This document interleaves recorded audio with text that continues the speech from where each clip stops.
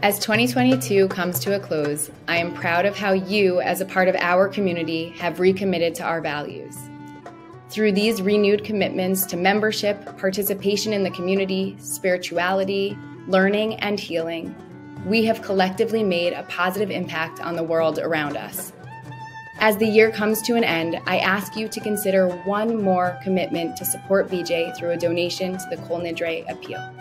If you have already given to the appeal, thank you for your generosity.